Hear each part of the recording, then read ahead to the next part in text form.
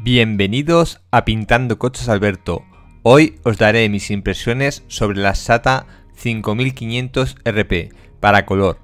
He usado las RP porque son boquillas híbridas, con las que puedes aplicar pintura o barniz. La boquilla que he usado para las aplicaciones es la boquilla de patrón vertical, que permite una aplicación de producto con un abanico más largo y fino. Como veis, el acabado ha sido completamente uniforme y con un gran cuerpo. Ahora podréis ver y apreciar cómo aplico los productos con la SATA 5500 RP.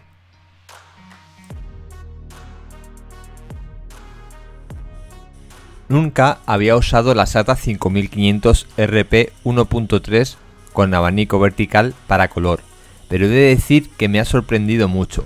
Deja la base sedosa y completamente uniforme, incluso en colores muy complejos como este.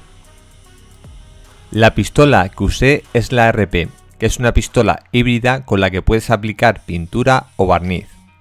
Para la pintura usé el pico 1.3 con patrón vertical, y con esta regulación. Abanico a tope, producto dos vueltas y presión a 1,6 bares. Como veréis en el vídeo, empiezo con, con 1,8 bares de presión, porque así es como se aplica esta pintura en la mayoría de pistolas.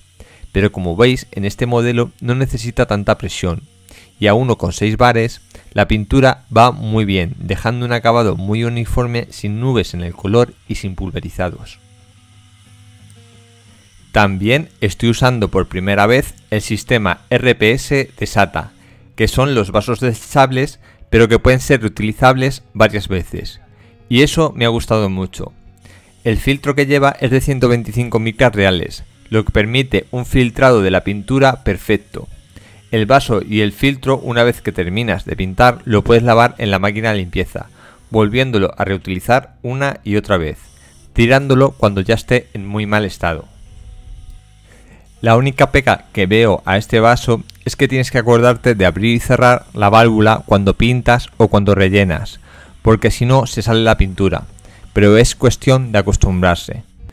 Como veis, el pulverizado de la pistola es perfecto y uniforme, consiguiendo un acabado superior en la aplicación de pintura y colores complejos como este.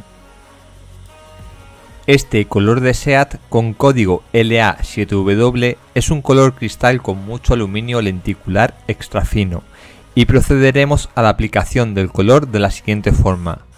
Primero le daremos una mano de color a los parches, después una mano de color a la carrocería completa y por último le daremos una mano de control.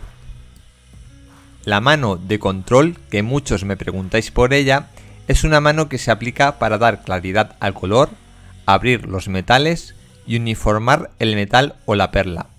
Esta mano es obligatoria aplicarla en colores que tengan metales o perlas, para posicionar el efecto de los pigmentos, porque como veis la mano que estamos aplicando es bañada y en estas manos el metal se hunde y se entierra en el color.